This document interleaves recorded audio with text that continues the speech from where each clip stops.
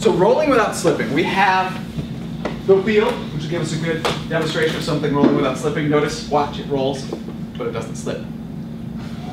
Okay. Now, when it rolls without slipping, there are two things that are happening. One is translational motion. The other is rotational motion. Both happening at the same time.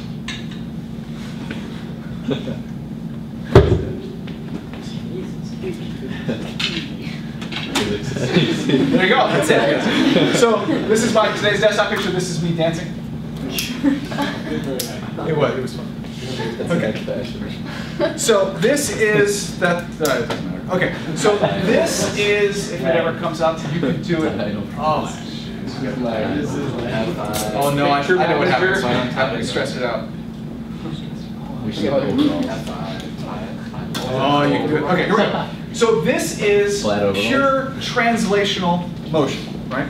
If you look, the center of mass is moving to the right at the velocity of the center of mass. So is the top and the bottom. Both of them are moving, uh, all three spots are moving at the velocity of the center of mass.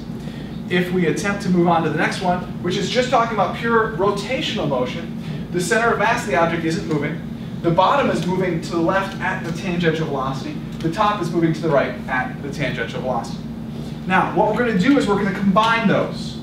So if we combine the velocity to the right and to the left on the bottom, what do we get? Zero.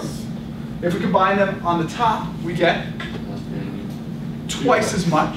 If you look, we have this one plus this one is twice as much.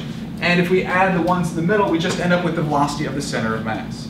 So if you look, what you get is the velocity at the contact point is zero. The velocity of the center of mass is the velocity of the center of mass. And the velocity at the very top is two times the velocity of the center of mass. But it turns out that the velocity of the center of mass ends up being equal to r times omega of the object. So the velocity of the center of mass of the object ends up being equal to r times omega. And that, hopefully, will look familiar. The velocity of the center of mass is equal to r times omega.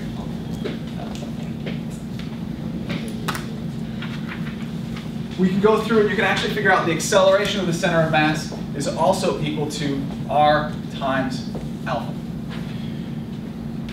This means when an object is rolling without slipping, the total kinetic energy of the object is equal to 1 half mv squared plus 1 half i omega squared. Because the object is not just rotating, but it's also translating. So it's moving, it has both linear kinetic energy and rotational kinetic energy. An object that is rolling without slipping.